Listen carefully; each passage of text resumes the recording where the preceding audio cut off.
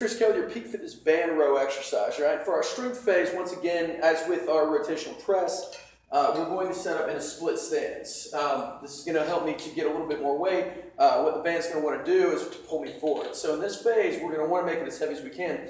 So again, we're going to have two types of it, and I'm going to come into a staggered stance. Again, tying the butt cheek of my back leg, getting pretty, trying to lock myself into place. All right, so we're going to have two different types of uh, band rows here. We're going to have an anti-rotation row, which looks like this. Okay, again, retracting my shoulder blades, pulling back to about here. Pull back fast, kind of squeeze, come back, control the back side, the, the backward motion, back fast, or up fast, back slow.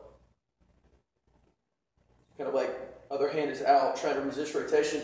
And then we have a rotational row where now I'm rotating my torso. So I'm actually rotating from the other side to help to create rotation and speed things up a bit.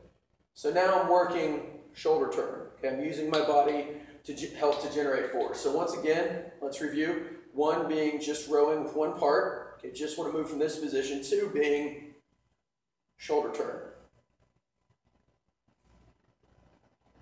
It'll be written into your program as to whether you do the anti-rotation or the rotational row, and that's your exercise.